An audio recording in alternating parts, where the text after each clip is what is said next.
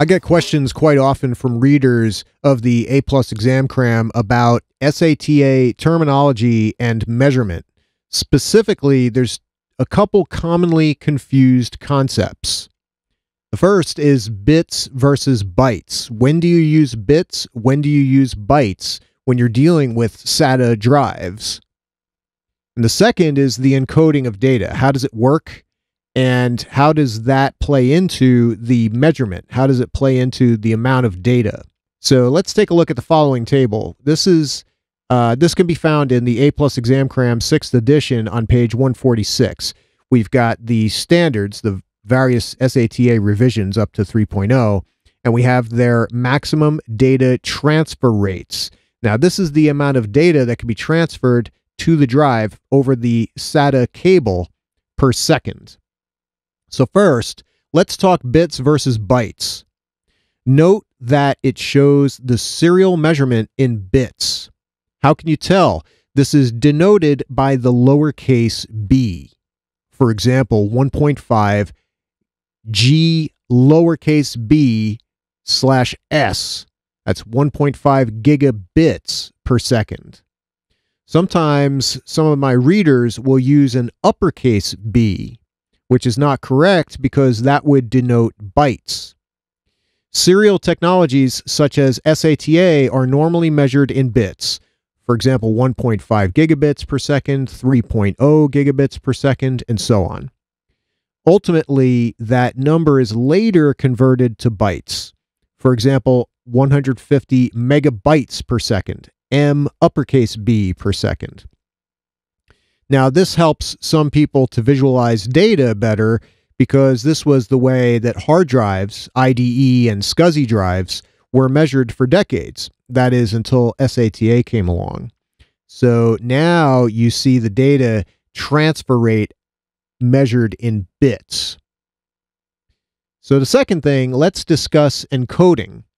Sometimes people get somewhat confused as to the percentage of encoding data. Well, the encoding data is a minority portion of the total data throughput. Let me explain. The total throughput of SATA 1.0 is 1.5 gigabits per second, as it shows in the table here. Only a small portion of that is encoding data. When you remove the encoding data, you're left with 1.2 gigabits of real data. So it goes from 1.5 down to 1.2 or thereabouts. Sometimes a person who reads my book might understand it as though the 1.2 gigabits is the encoding data but that's not correct. In this case, it's actually only 0.3 gigabits per second of encoding data because you have 1.5 gigabits total, 0.3 gigabits of encoding data, and then you're left with the 1.2 gigabits of real data. So, if you want to find out how much you can actually store on the drive, you can calculate it. When you divide by 8 to solve for bytes, you would get 150 megabytes per second, as shown in this equation. 1.2 gigabits per second divided by 8 equals 150 megabytes per second. So we're solving for bytes to show that final data in its storage place. That is the actual amount of data that can be written to the hard drive per second. The encoding data is discarded once the data is stored. The same holds true for the other versions of SATA. For example, revision 2 goes from 3.0 gigabits per second down to about 2.4 gigabits per second, which roughly equals 300 megabytes per second. And SATA 3.0 has a maximum data transfer rate of 6.0 gigabits per second. Remove the encoding data, and you get 4.8 gigabits per second of real data, which converts to approximately 600 megabytes per second.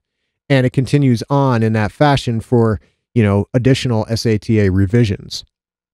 So, in summary, make sure that you understand the difference between bits and bytes. You got the lowercase b for bits and the uppercase b for bytes. Remember, bits are serial, they're one at a time, individual bits. Bytes, however, are normally eight bits used collectively or stored collectively. So understand the difference between bits and bytes, how they are measured, and how they are displayed. Also, know that the number in bits includes the encoding data.